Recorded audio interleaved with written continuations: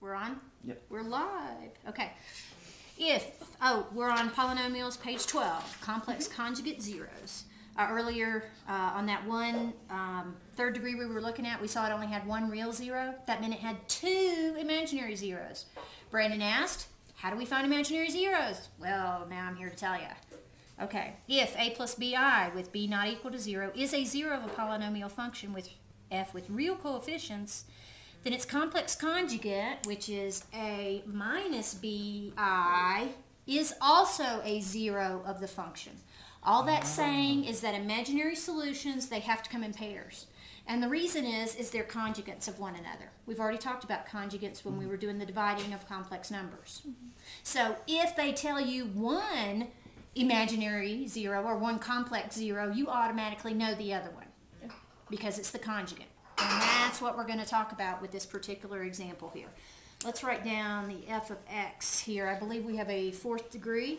Yep. So it's 4x to the fourth uh, plus, what is that, 17x squared? plus 14x plus 65.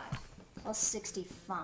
Okay, and it says, show that 1 minus 2i is a 0 and verify at least one other 0 of f of x. So are you ready? Mm-hmm.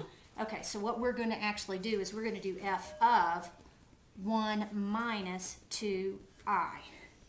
And there's different ways to evaluate this, but I'm just going to go back to the old evaluating and show you what to do.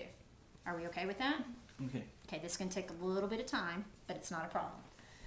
Okay, so 4 times 1 minus 2i, quantity to the fourth,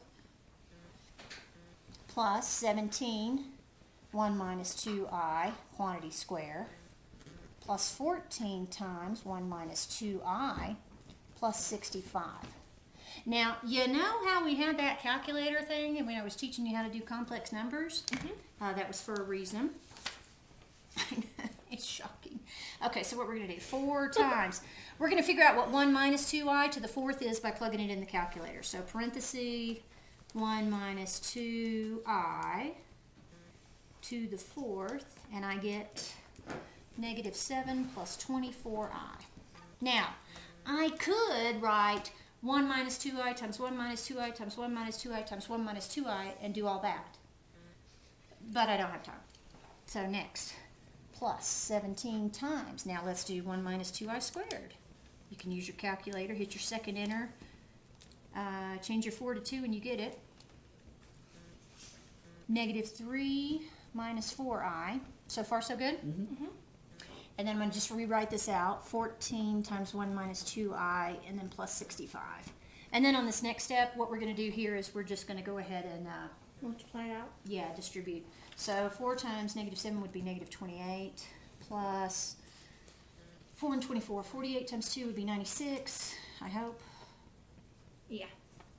So 96i plus uh, negative 51, uh, 68 minus 68i, I hope.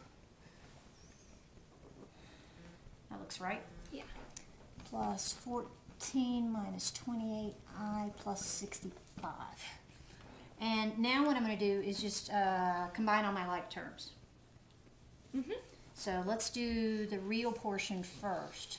I have a negative 28, I have a negative 51, I have a positive 14, and I have a positive 65. So this is going to give me, what is that, 79 as a negative? Yes?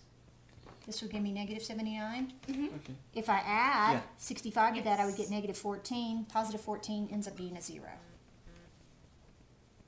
If you want to use your calculator, you can. Negative 28 plus negative 51 plus 14 plus 65 all equals zero. Okay. Okay? Now my eyes, I have a 96 and I have a take away 65 and a take, or 68 and a take away 28. So that mm-hmm. give me 80 and 16, which is 96, negative. So that's going to be plus 0i. So that means that this 1 minus 2i is a 0. Which that make sense? We can find the other zero. What's the other 0?